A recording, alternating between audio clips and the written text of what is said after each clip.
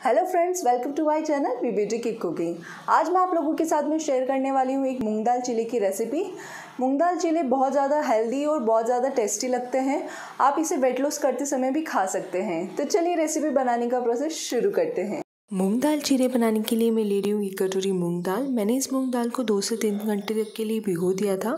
उसके बाद मैं लूँगी दो हरी मिर्ची और एक इंच अदरक का टुकड़ा। उसके बाद हम एक ब्लेंडिंग जार लेंगे और उसके अंदर मूंग दाल डाल देंगे। ऐसे करके थोड़ी थोड़ी मूंग दाल डालिए। ध्यान रखें इसके अंदर ज़्यादा हमें पानी ऐड नहीं करना है। अगर आपका पानी है इसके अंदर तो आप उसे साइड में कर दीजिए और इस तरीके से साइड साइड से मूंग की दाल डाल दीजिए। अब इसके अंदर हम हरी मिर्ची और अदरक डालेंगे। इस तरीके से बारीक बारीक काट लीजिए और इसका ढक्कन बंद कर दीजिए, उसे ब्लेंड कर दीजिए। ब्लेंड करने के बाद आप देख सकते हैं हमारा पेस्ट काफ़ी थिक है। तो हम इसके अंदर थोड़ा सा पानी ऐड करेंगे। ये देखिए, मैं इसके अंदर बस हल्का सा पानी ऐड कर रही हूँ, ज़्यादा हमें ऐड नहीं करना है और बची हुई मूंग दाल भी मैंने इसके अंदर डाल दी थी। अब हम इसे ग्रेट कर लेंगे। ग्राइंड करने के बाद में देख सकते हैं, ये हमारे स्मूथ पेस्ट बन के तैयार है तो मैं इसको एक बाउल के अंदर निकाल देती हूँ। ये देखिए, यहाँ भी हमारा पेस्ट थोड़ा सा थिक मुझे लग रहा है तो मैं इसके अंदर थोड़ा सा जार के अंदर ही पानी लेंगी और इन सबको अच्छे से मिक्स करके इस पेस्ट के अंदर डाल दूँगी। ये देखिए, हमने ये सारा पेस्ट इसके अंदर डाल दिया है और आई थिंक इसका वो टेक्सचर है वो एकदम परफेक्ट है। तो इस तरीके से अच्छे से मिला लीजिए इसको। अच्छे से मिलाइए, बस ये हमारी कंसिस्टेंसी एकदम परफेक्ट है। इसको अच्छे से मिला लीजिए।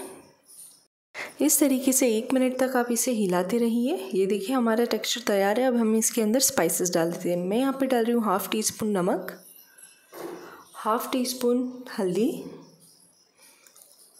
और हाफ़ टी स्पून लाल मिर्च। अब इन सबको आप अच्छे से मिला लीजिए। ये देखिए, इस तरीके से आप इसको अच्छे से मिला लीजिए।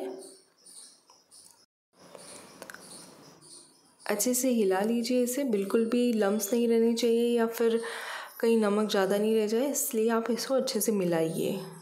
इस तरीके से अच्छे से मिक्स करने के बाद में हमारा पेस्ट तैयार हो चुका है तो चलिए इसे बनाने का प्रोसेस शुरू करते हैं।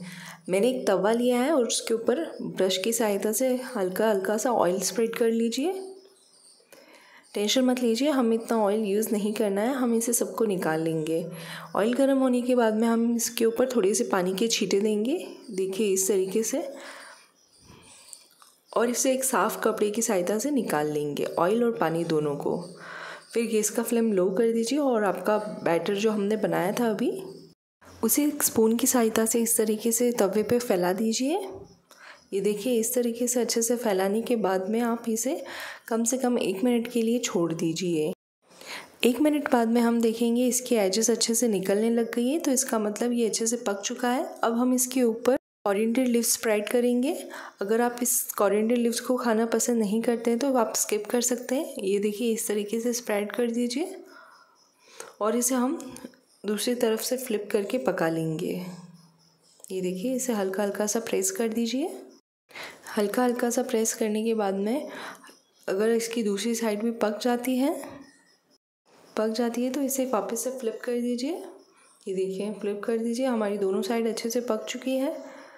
तो हम इसे वापस से फ्लिप कर देंगे और थोड़ा सा क्रिस्पी कर देंगे। और अब हम इसे फोल्ड कर देंगे। ये देखिए अच्छे से पक चुका है। तो अब हम इसे फोल्ड कर देते हैं। ये देखिए इस तरीके से धीरे धीरे फोल्ड कर दीजिए और एक सर्विंग डिश में निकाल लीजिए। और इसे सॉस के साथ सर्व करिए। तो यहाँ हमारे कुरकुरे क्रिस्पी चीले बनकर तैयार है। तो अगर आपको मेरे ये चीले की रेसिपी पसंद आई है तो प्लीज़ मेरे चैनल के नीचे लाइक का बटन क्लिक कर दीजिए। मेरे चैनल को सब्सक्राइब कर दीजिए। चलिए अगले वीडियो में मिलते हैं। तब तक के लिए बाय